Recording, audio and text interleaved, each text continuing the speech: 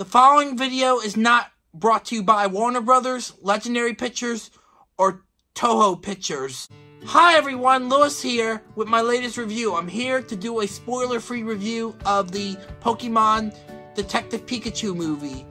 A review of the plot, which has spoilers to the film, is coming. First off, the story, plot, and even the appearance of the Pokemon generations 1 through 6 were spot on to their game counterparts, while some of them saying their names as their cries, just like their anime counterparts. However, it could have been greater if there were more Pokemon in the film. The acting in the movie was amazing.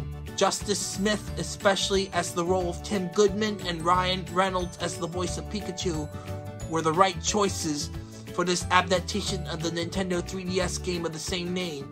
I will also compare the differences between the actual game and movie in the spoiler review.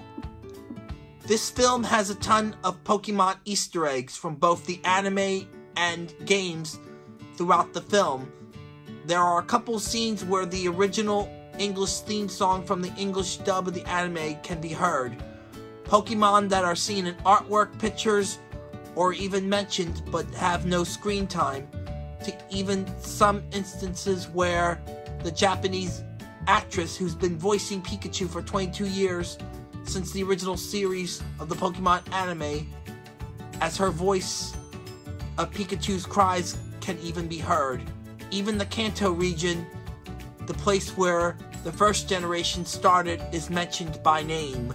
Other than the minor gripes about not enough Pokemon, though the film, I hope, gets a well deserved sequel. This film is a great film for all ages Pokemon fans, or even non Pokemon fans like my mother, who was with me when we seen it together. I highly recommend this film. I give it two thumbs up for its story, plot, characters, and elements. If you like this video, please hit the like button. Be sure to subscribe to my channel and hit the bell for alerts when I upload new content, especially those with disabilities similar to mine. You can also follow me on Instagram, Twitter, and Facebook. As I always say, it's time for adventure!